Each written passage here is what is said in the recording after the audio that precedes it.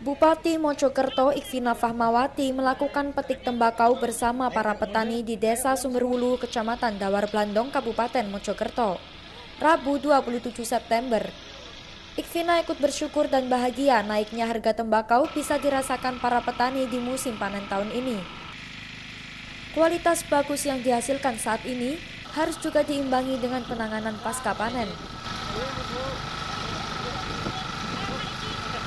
Uh, jadi benar-benar untuk meningkatkan kualitas itu yang nomor satu uh, dari benihnya, kemudian metode penanamannya, kemudian uh, semua faktor yang mendukung dalam uh, proses uh, penanaman sehingga menghasilkan daun-daun tembakau dengan kualitas yang baik.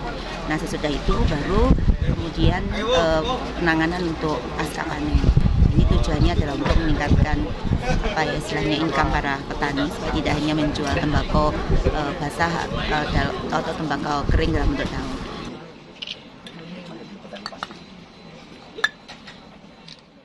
Jika tahun lalu harga daun basah hanya 2.000 hingga 2.500 rupiah per kilogram, panen tahun ini harganya mencapai 4.000 hingga 4.500 rupiah per kilogram. Sementara untuk kering grosok, Tahun kemarin hanya Rp20.000 hingga Rp25.000 per kilogram. Saat ini mencapai Rp40.000 hingga Rp45.000. Untuk tembakau racang, tahun kemarin Rp40.000 hingga Rp45.000.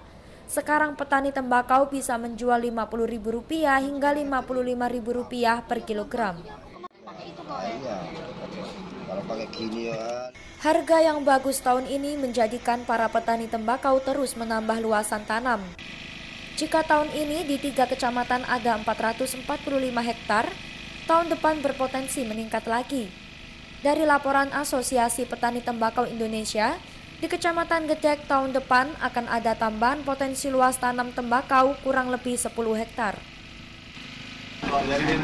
Tadi juga uh, ketika kemudian uh, apa ya istilahnya kualitasnya meningkat, uh, harganya bagus, pengolahan pasca panen juga bagus, gitu.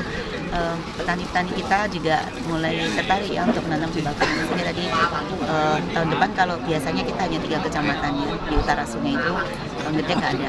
Jadi tahun depan petani gede sudah ada yang ingin menanam tembakau dengan tadi dilaporkannya oleh Ibu Kepala Pertanian sekitar 10 hektar di Gede.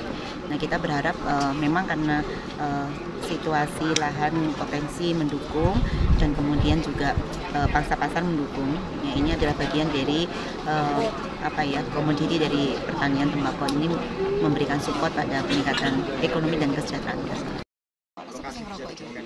Dari Kabupaten Mojokerto, tim redaksi melaporkan.